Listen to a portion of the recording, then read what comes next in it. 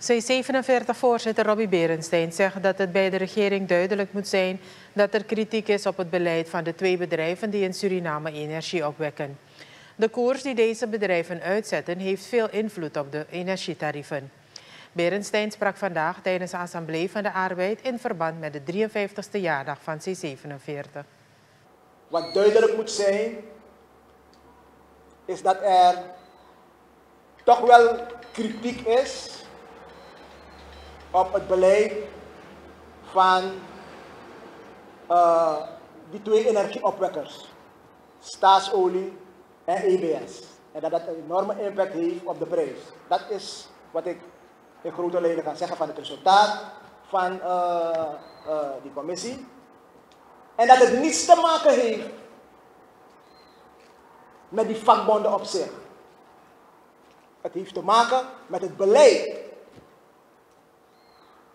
van die organisaties.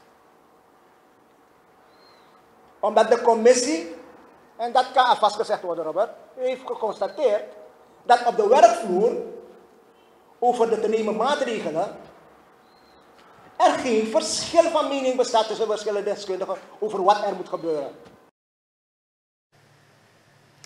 Berenstein deelde het belang voor nog een sessie voor de C47-lidbonden en andere belanghebbenden over de vaststelling van de energietarieven. Door de vakbonden worden er vele voorstellen gedaan en daar zouden de beleidsmakers meer aandacht aan moeten geven. Maar we merken dus steeds meer een houding van, ik hoor je, ik hoor je, maar bijna zijn dit lekker dat ik hier de verplicht voor En hoe lang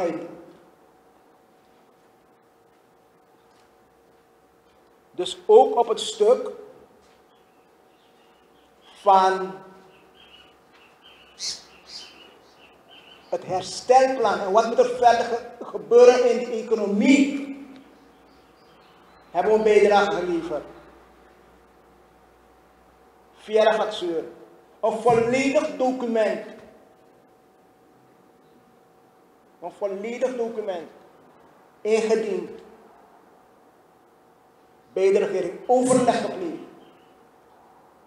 Toch, Yeshua Houding, Peresma, Edu, Sadewani.